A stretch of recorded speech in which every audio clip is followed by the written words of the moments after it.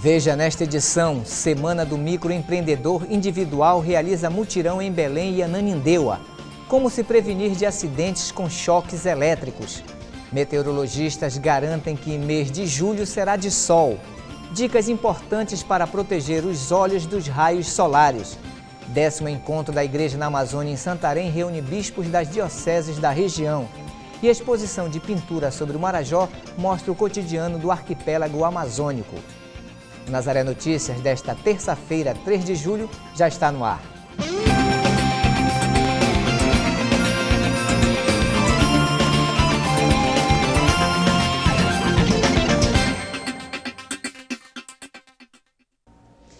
Até o dia 7 de julho acontece em Belém e Ananindeua a Semana do Microempreendedor Individual. Com o mutirão, o Sebrae pretende tirar da informalidade os trabalhadores paraenses que empreendem por conta própria, mas que ainda não estão regulamentados. Nós temos cinco tabelas de tributação. Comece a tabela 1. É neste clima de tira dúvidas que equipes de técnicos do Sebrae irão ficar até o próximo sábado, esclarecendo e ajudando os pequenos empresários a saírem da informalidade. Miguel Guimarães trabalha há 20 anos no comércio de confecções e está decidido se formalizar.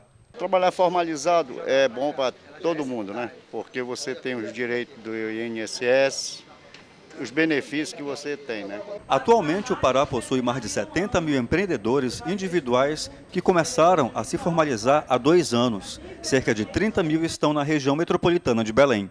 A importância do, da Semana do Empreendedor Individual, primeiramente que o SEBRAE ele, ele comemora essa data durante a, a, a, de 2 a 7 de julho, que é a data comemorativa da regulamentação da lei que regulamentou a atividade do empreendedor individual.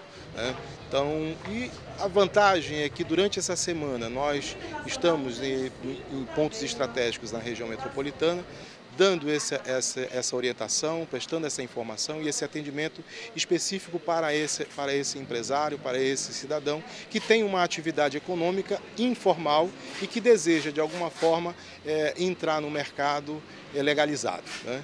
Nas unidades de atendimento, uma sala de treinamento para os futuros microempresários regularizados. Para ele se formalizar, ele precisa primeiramente estar enquadrado em uma das atividades que a lei permite. Né? E a outra, ele precisa é, tem algum, algumas é, orientações que ele não pode é, ter mais de um funcionário. Se ele tiver um funcionário, esse funcionário tem que ser de carteira assinada, ele tem que exercer a atividade dele sozinho. Ele não, a, o faturamento dele bruto anual não pode ultrapassar é, 60 mil reais, ou seja, 5 mil reais mês. É, ele não pode ser sócio e nem ter outra empresa no nome dele. Então são algumas, algumas das regras que ele precisa para estar enquadrado como empreendedor individual. A meta do Sebrae para a quarta semana do empreendedor individual é de atender nos próximos dias mais de 4 mil pessoas. Dessas, se espera formalizar cerca de 3 mil empreendedores que trabalham informalmente. As principais atividades hoje aqui no estado, pela, pela pesquisa que a gente tem acompanhado, é comércio e serviços. São as principais atividades desenvolvidas. Aí vem a área de confecções, confecções varejo, né, de varejo, depois o setor de, de, setor de alimentação e as outras cabeleireiros, manicures, então tem uma série de, de atividades que, que, que priorizam aqui no estado. Segundo dados do Diese Pará, a cidade de Belém lidera a geração de postos de trabalho. O estudo realizado com base no mês de maio de 2012 aponta que a capital paraense alcançou o índice de maior geração de postos de trabalho dos estados da região norte. É a 13ª cidade no ranking das capitais nacionais no balanço dos últimos 12 meses. Em maio, foram feitas em Belém mais de 8.800 admissões. A pesquisa também revela que a maioria dos setores econômicos da capital apresentou crescimento na geração de empregos formais, com destaque para os setores de serviço, indústria de transformação e agropecuária. Acidentes domésticos por causa de problemas elétricos são bastante comuns. Contudo, é preciso ter cuidado porque choques elétricos podem até matar. Acompanhe nesta reportagem algumas dicas para se prevenir destes acidentes. Os riscos estão espalhados em casa, mas evitar acidentes é bem simples. Nossa equipe foi até o Centro de Atividades Técnicas do Corpo de Bombeiros do Pará para pegar algumas dicas. Na sala, É bastante comum as pessoas aproveitarem uma mesma tomada, utilizando Benjamin e ligarem vários um atrás do outro, que é para aumentar o número de plugs. Isso é muito arriscado. Se a pessoa liga vários equipamentos nessa mesma tomada, é o que acontece o curto-circuito. Na cozinha, as pessoas costumam utilizar a fiação da geladeira, que é um, onde tem uma, uma potência maior, para utilizar outros equipamentos, como forno micro-ondas, outros equipamentos não pode. Deve ser específico para cada equipamento, tem sua potência para ser adquirida. No quarto, é questão de televisões, DVDs que as pessoas ligam e não se preocupem em usar cada uma tomada, não. Utiliza sempre o Benjamin e vão só plugando um atrás do outro, que é o que acontece o problema. No banheiro. As mulheres têm o costume de utilizar secadores de cabelo junto ao espelho e isso é muito problema. Além do curto-circuito, tem o problema também do choque. Como ela está com o piso molhado, ela está descalça, ela corre também o risco de ter um, um choque elétrico no momento. Caso alguém seja atingido por um choque elétrico, providencie socorro imediatamente. Em acidentes elétricos, os primeiros três minutos após o choque são vitais para o acidentado. A Secretaria de Inclusão Digital do Ministério das Comunicações divulgou as 80 cidades beneficiadas na primeira fase do projeto Cidades Digitais. Ele compreende a oferta de acesso à internet, banda larga e modernização dos sistemas de gestão pública. Os servidores públicos serão capacitados por uso dos aplicativos e das redes instaladas nos municípios. As cidades selecionadas foram avaliadas conforme capacidade gerencial e técnica, sustentabilidade do projeto e expansão da rede. A seleção valorizou os municípios das regiões Norte e Nordeste. 49 cidades dessas regiões foram aprovadas. O Ceará foi o estado com o maior número de municípios aprovados, seguido pela Bahia, Paraíba e Pará.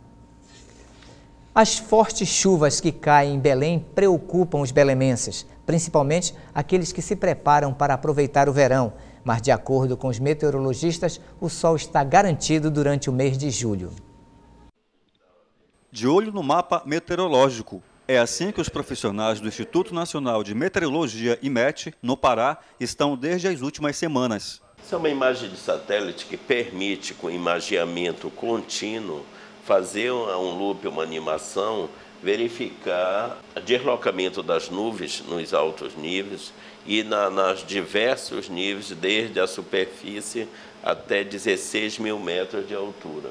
Com a animação, você, é, além de verificar o deslocamento das nuvens, aonde é que estão tá as nuvens mais profundas, que facilita com que tenhamos, com certeza, onde vai ter as tempestades mais severas, ou o tipo de, de nebulosidade que permite chuvas de fraca intensidade. Mas as pancadas de chuvas que têm castigado as tardes de Belém têm um motivo.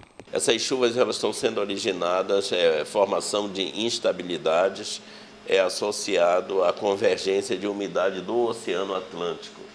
Essa é a termodinâmica da atmosférica, a quente e úmido, favorece a formação dessas nuvens é, profundas que começam no litoral do Maranhão e, e se propagam para o Pará. Com isso, ainda a Soure, Bragança, Salinas vai ter todo, todo o litoral paraense vai ter pancada de chuvas nos primeiros 15 dias. E o, a segunda quinzena vai ser mais seco. O índice pluviométrico no Pará está elevado, atingindo 70% acima da média, que é de 156,7 milímetros ao ano. Só a capital atingiu 280 milímetros. Isso significa que entre 27 dias de chuvas previstos para o mês de junho, somente em dois dias não choveu. Em pleno verão amazônico, a alta incidência de chuvas neste mês tem preocupado quem deseja pegar as praias balneários do estado. Mas a previsão do IMET é favorável para o veranista. A previsão do Instituto de Meteorologia é que tenhamos a maior parte dos dias com mais de 8 horas de sol intenso, desde amanhã até as 15 horas, e após as 15 horas uma pancada de chuva localizada. Isso vai depender da, da do, do, do vento Vento mais forte, ele traz as chuvas com mais cedo. Se não, no período da noite é bem possível acontecer essas chuvas no início da noite, mas ah, não deve atrapalhar as pessoas que vão querer sol, porque o dia todo será de muito sol e pouca nebulosidade. O total de vereadores em atuação no Brasil crescerá 10% a partir de janeiro de 2013, quando os novos limites de parlamentares nas câmaras municipais começam a valer. Ao todo, a população elegerá 56.810 vereadores nas eleições de outubro, 5.070 a mais que no último pleito, segundo o levantamento da Confederação Nacional dos Municípios.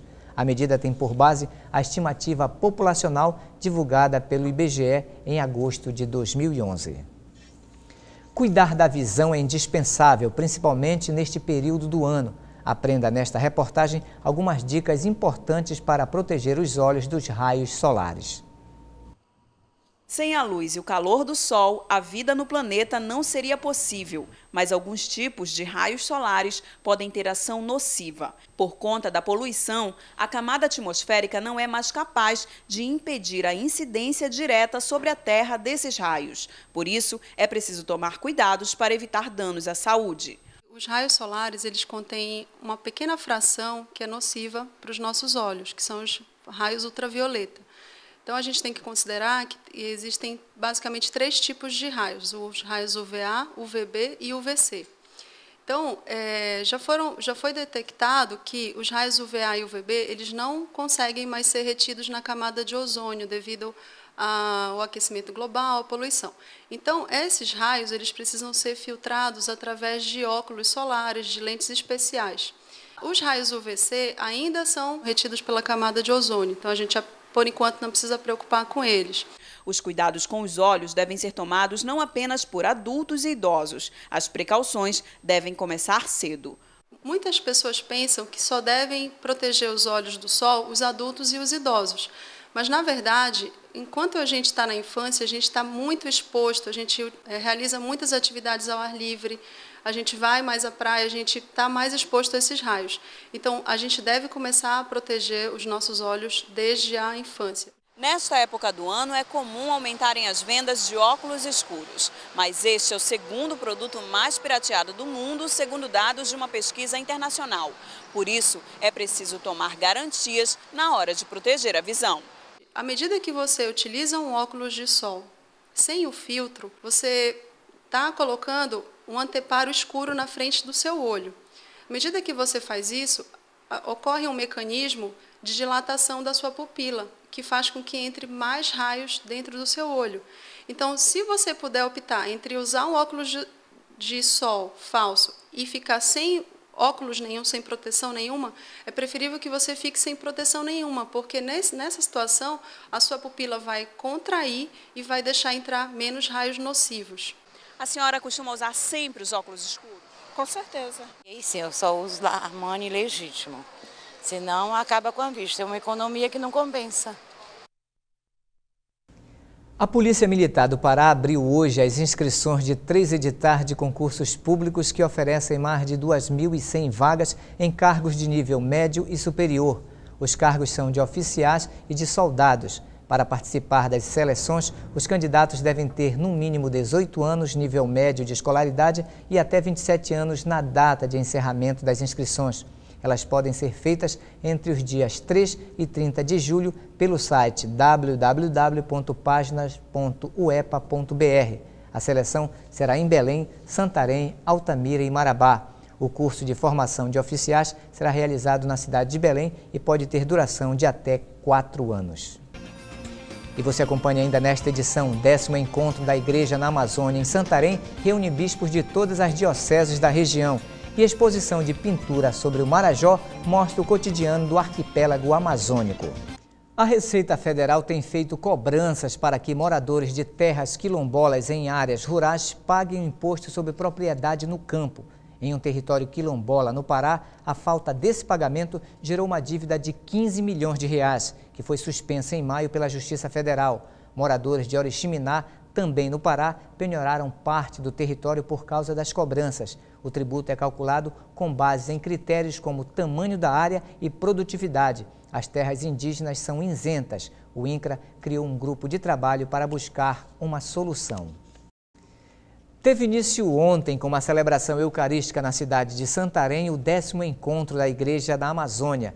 O evento reúne bispos dos regionais Norte 1, Norte 2 e Noroeste da CNBB. O encontro fará uma avaliação da caminhada da igreja na região nos últimos 40 anos. A repórter Caroline Guimarães tem mais detalhes. Olá, Marcos. Eu estou aqui no seminário São Pio X, onde acontecem as discussões acerca do, do décimo encontro da igreja na Amazônia. Está aqui ao meu lado o Monsenhor Cid, que pela manhã fez uma explanação, fez uma retrospectiva sobre a realidade da Amazônia desde 1972, quando o documento de Santarém foi elaborado, até 2012. Monsenhor, o que foi que o senhor procurou explanar nessa discussão? Então, primeiro eu fiz uma, uma memória né, desses, desses últimos desses anos, até um pouco antes mesmo de 72, para relembrar a caminhada dos regionais né, feitos até 72 e depois de 72, né, lembrando é, que a importância do documento de, de, de, Santarém, porque ele que deu, digamos, um rumo novo né, à vida da igreja aqui, como que estabelecendo um rosto de uma igreja mais amazônico, baseado sobretudo em duas diretrizes, né, a diretriz da encarnação, da encarnação na realidade, a evangelização libertadora, e que levou nossos bispos a escolher quatro prioridades. Né? As comunidades, é, é, chamava naquela época comunidades cristãs de base, a formação do, dos agentes de pastoral, a pastoral indígena e a estrada, as estradas que surgiu, o trabalho nessas estradas. E depois o desenvolvimento disso, né, dos grandes encontros, dos grandes movimentos de igreja até aqui. Agora, Monsenhor, é, as discussões que já aconteceram durante a manhã, o, o, que, o que já foi discutido, o que já foi falado lá dentro? Então, primeiro da minha parte foi exatamente isso. O que, é que a igreja agora vai fazer? Né? Então, aparece aqui os chamados grandes desafios que a igreja tem que enfrentar, por exemplo, a formação de um clero autóctone, a, o reavivamento das comunidades eclesiais de base, todo esse trabalho com os migrantes né, que estão chegando na Amazônia e, sobretudo, na formação das, das cidades da Amazônia, a, a, o pensamento voltado para uma, um novo conceito de demissão né, e, sobretudo, essa preocupação com as comunidades. Né? Então, isso, assim, a, a, preocupação dos bispos é essa.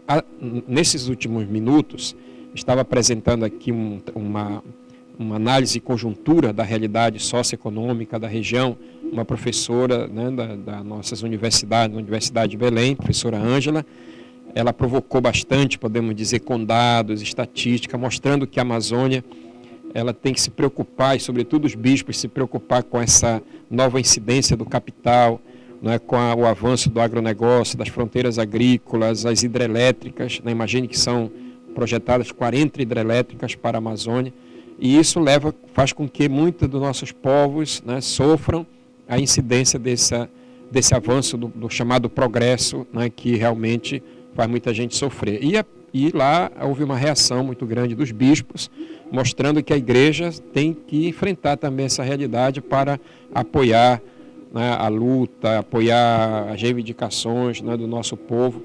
Eu creio que hoje de manhã foi um, um dia muito produtivo para as, as informações a respeito daquilo que é a Amazônia hoje.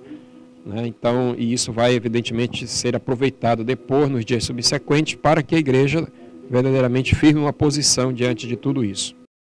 Até o dia 8 de julho está aberta ao público no Instituto de Artes do Pará a Mostra Marajó, uma exposição de trabalhos que retratam o cotidiano da região.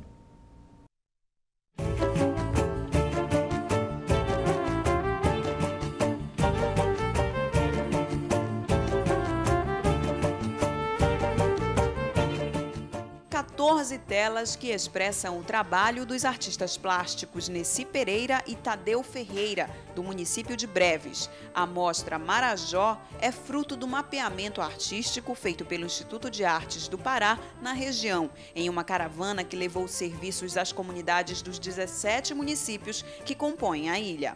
O mapa ele vai se tornar um portal dentro do, do site do IAP. O que, que é isso? É, funciona, funciona como um espaço virtual onde os artistas podem trocar informações, eles podem dispor uh, os trabalhos deles, eles podem também colocar agenda. Um, um espaço de interação entre os artistas. Um olhar sobre o Marajó lançado por artistas do próprio lugar. A região é cenário de grandes obras como as do romancista paraense Dalcídio Jurandir. Mas aqui na Mostra Marajó, a linguagem é a pintura. É o resultado do trabalho de pessoas que transformaram seu cotidiano em obras de arte. A mostra segue até o dia 8 de julho no hall do Instituto de Artes e já contou com uma palestra sobre boi bumbá no município de Melgaço e exibição de um curta-metragem produzido em Anajás.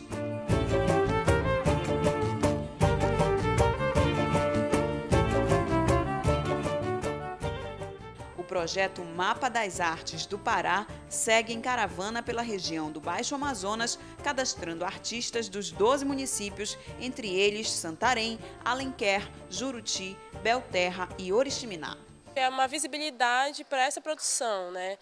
Tem, por conta de vários motivos, principalmente geográficos, às vezes é, a gente não tem acesso a essa produção. Então a caravana proporcionou, isso para a gente, né? A, a ir até esse artista, é, encontrar com ele, ver o que está sendo produzido, né? o, que, que, o, que, que, o que, que tem de arte no Marajó, o que está se produzindo de arte. Né?